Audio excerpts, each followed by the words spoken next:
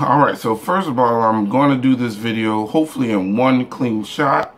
Uh, there won't be an intro uh, clip on this video but i do want to update you. First of all i want to apologize for the lateness of this video.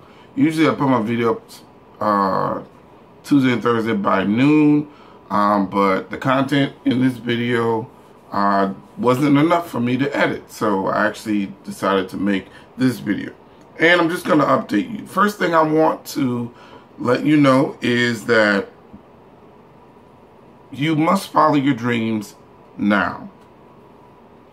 A lot of times we think that we have time to follow our dreams and you do want to take your time, but you also don't want to waste time. So right around uh, somewhere between 14 and 16, I knew exactly what I wanted to do. And if you're that age or coming close to that age, start looking at things that you know you're good at or try out different things. And that way you'll know what you probably will be doing later on in life. So I started producing when I was 16, but all before then I knew I loved music and at 16, I enjoyed it so much, I knew that's what I wanted to do. So, follow your dreams now. I had a cousin who uh, passed away at age 23. And she was trying to follow her dreams. And I'm sure if she would have known uh, her circumstances wouldn't have allowed her to make it past 23, she would have worked a little faster on her dreams. So, um, definitely work your dreams now. Um, if there's anything I can do to help, let me know. Um, but I'm working on my dreams now. There were a couple of years where I just didn't do anything. I didn't work on it at all. I didn't care. Um, but a lot of times when I walked away from music, uh, it just came back to me. I would have dreams about music. I would wake up and have a melody in my head, and I would have to make a beat out of it. Um, so even when I didn't want to do music. Music wanted to do me, so um, that I had to follow it. Um, also, this summer we're gonna try to take the kids on some trips.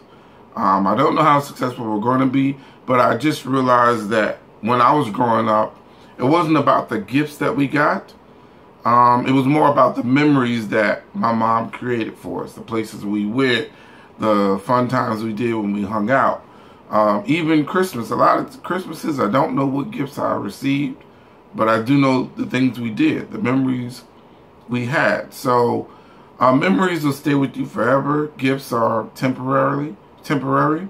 So definitely make more memories. I just want you to write that down. Make more memories. And I'm going to try to do that. And that's why I've also started vlogging.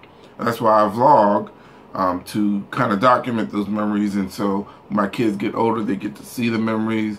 And then when my grandkids, grandkids, grandkids are born, they can see these same memories. So, um, I know I got my prediction wrong for the NBA Finals. Thought for sure LeBron was going to at least pull out one more. Um, but, you know, with a stacked team like that, four All-Stars, there's no way it really would have all come together that easily. So, yes, my prediction was wrong. Um, but I think next year they're going to get some key pieces to make things happen. Um, if you didn't realize or didn't remember my announcement about my SoundCloud, I have set one up. Go ahead and follow it. But also on the 7th of August, I'm going to start posting music up there. Uh, every Monday, I will post a new track um, you'll get to download the track. If you want to keep the track, you can keep it. Um, well, not necessarily keep it, but if you want to use the track, um, you can let me know and we'll discuss some things. But you'll be able to download. It will be a free download or you can just listen to it on SoundCloud. I don't want to say you can have it, but um, I do want to let you know that you can download it and uh, if you want to do something else after that, you let me know. Um, so look at the link in the description and go follow the SoundCloud. Again, on August 7th is when I'll start posting music every single week up there. You get to hear what kind of producing does Maudy the producer do? because I know y'all are waiting on the album, but I can't play the album stuff for you just yet. That'll happen soon. Hopefully sooner than later. But uh, lastly, I want to let you guys know there's a book I'm going to start reading. reading. Um, well, actually not reading. I like audiobooks. So I'm going to start listening to it. Um, Kevin Hart's new book, uh, I Can't Make This Up. And we're going to download it this weekend, according to my wife. And we're both going to get into it. Um, I did read a snippet or hear a snippet of it, and it was excellent. So I want to download it and kind of give a listen to it. And then I might do a review on it and let you guys know how, how it was. So um, that's all my announcements. I need to make dinner.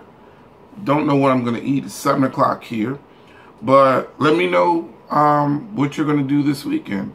And uh, I will talk to you band members later. You man?